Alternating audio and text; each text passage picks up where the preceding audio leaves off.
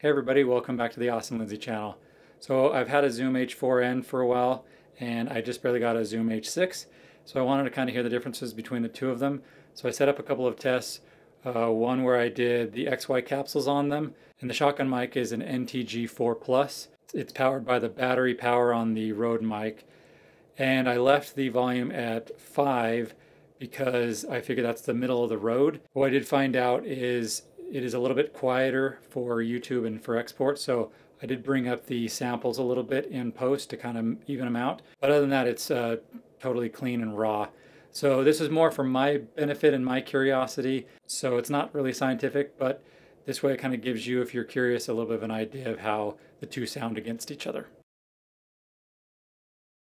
Testing one, two, testing one, two. This is the Zoom H6 going from uh, Rode NTG4.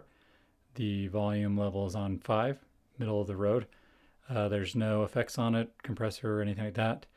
Uh, this is how it sounds. Um, I'm going to do a, I'm going to stop talking and do a noise test. This is the quietest environment I have.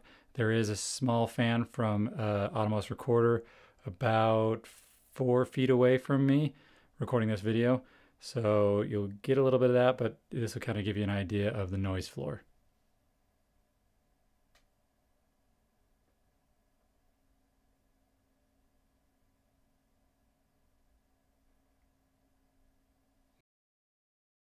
Testing one, two, testing one, two. This is the Zoom H6 uh, with the XY capsules on it. They're at 90 degrees. Uh, the volume is 5 because that's the middle of the road for the volume. There are no effects applied. There's no compressor or limiter. Uh, and here's how it sounds with a human voice. And then I'm going to stop talking. There's the quietest environment again.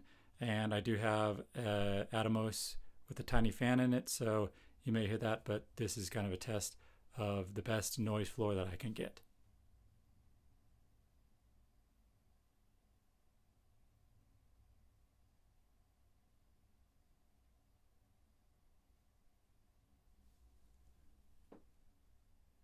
Test one, two, test one, two. This is the, uh, the H4n with the Rode NTG4 Plus microphone on the input. Uh, there's no, uh, nothing applied on this one, no uh, compressors or anything. So this is uh, the volume 50, which is the middle of the road volume on this recorder. Uh, so this is how the human voice sounds. I'm going to do a, I'm going to stop talking and you can hear the noise floor. Again, there's a quietest room, Atomos recorder with a little fan. Here you go.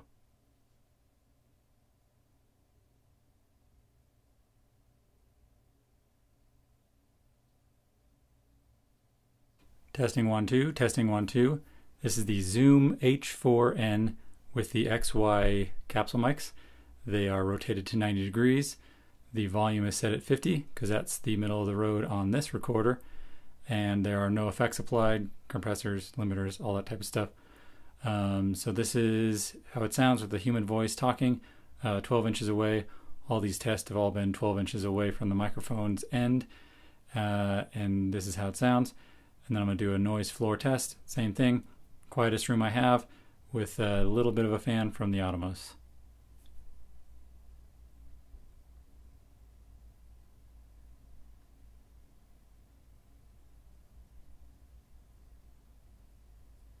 All right, everyone. Hopefully that gives you kind of an idea and maybe answer some questions for you. If you guys have any questions, leave them in the comments field. I'll do my best to answer them. And thanks everyone for watching.